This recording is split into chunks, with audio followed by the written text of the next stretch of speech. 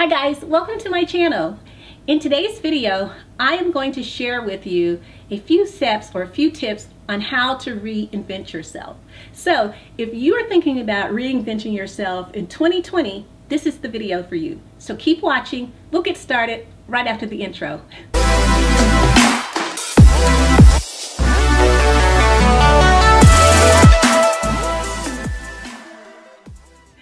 So it's 2020 and you've been thinking about reinventing yourself and you're not really sure how to get started or if you should get started. You just know that it's been on your mind and it's something that you've really been kind of thinking about but you're a little afraid to do or you don't know how to do. So I'm going to share with you a few tips on how to get started. Now first, before we get started, let me just say that if you've been thinking about it, then yes, yes, yes, you should do it you should do it because life is all about evolution. It's about changing, it's about growing, and it doesn't matter what career path you've been on, it doesn't matter how old you are, those things really don't matter. You really need to think about whether or not this is something you want to do, and if it is, then go for it. You are the only person that is stopping you, so why not explore and see if it's something you want to do?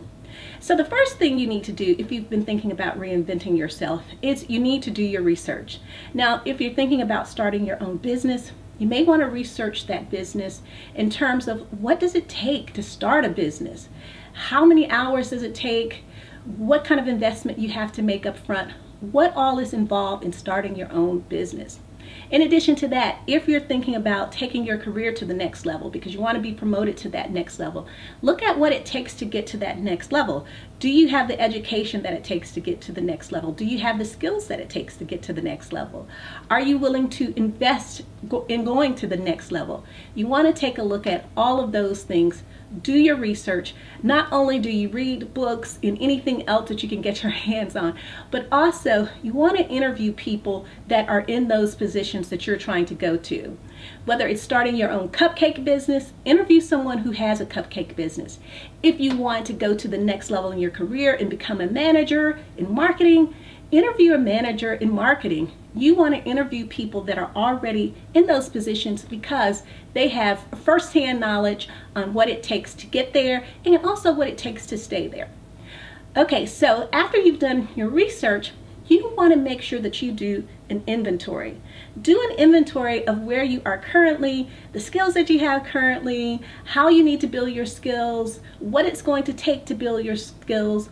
Also, do an inventory in terms of what kind of investment you need to make. Again, whether it's a financial investment or if you're trying to go to the next level in your career, Think about the investment that you may have to make in terms of your overall image. And I'm going to talk a little bit about that later. But there is an investment because if you're used to coming to work in khakis and just a button down, but you know that managers at the next level, well, they usually wear business suits or some kind of business attire that's a little more formal than your khakis and button down, that is an investment for you. So think about and do an assessment on where you are to see if you have those things, if you need to invest in those things, and if you're willing to do it. Also, look at the amount of time that it's now going to take when you go to the next level. If you're starting your own business, you know that in the beginning, the startup phase, you're going to invest a lot of time. And if you're going to the next level in your career, you're going to invest a lot of time because now you have more responsibilities. And so you are going to work a little bit more frequently than you did before. So do an inventory, see where you are, and see if you're willing to make the investment. Now, after you've done your research, after you've conducted an inventory, you now have to look at your personal brand. Now, we all have a personal brand, whether we believe it or not. We have a brand, and our brand speaks for us before we even say a word. So, you want to make sure that you do an assessment of your overall personal brand. If you're trying to go to the next level in your career, you want to make sure that your personal brand is saying that you're trying to go to that next level, whether it is your overall image, whether you dress the part, whether you act the part, or whether it's just how you treat people in general. Are you kind to others? Do you just want the position because it's just a position and you want to go to the next level? Your personal brand says all of these things about you. So you really have to look at your brand. You have to look at your overall skills, your overall experience, your personal appearance, your business etiquette, all of these things make up your personal brand. And so you want to make sure that you take a look at your overall personal brand, do an assessment of your personal brand, and be willing to do whatever it takes to change your brand. Now, your brand isn't about being fake. It really is about showing people what you believe in, what you're good at, and who you are as a person. And really, when you take a look at your personal brand and you do it correctly, then it's going to be authentically you. So make sure you take a look at your personal brand. Okay guys, so the last thing that it's going to take in terms of really thinking about reinventing yourself is to get a mentor.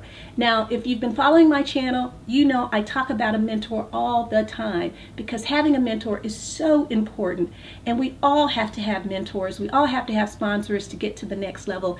And if someone is telling you that you don't, they are not being truthful having a mentor is so important because mentors really are people who have been there, they've done that, they know what you're going through. They're people that you can confide in and talk to. They are people that you can learn so much about the business that you're trying to go into because they've been there, they've done it. And so they are great people to talk to, to have, to motivate, encourage you, and to help you in terms of the next steps that you need to take. So that is it. Those are a few quick tips on how to reinvent yourself for 2020.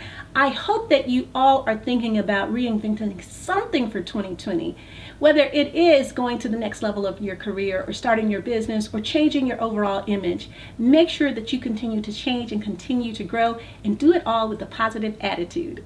All right, I'll see you in my next video. Thank you for watching. If you like the video, give it a thumbs up.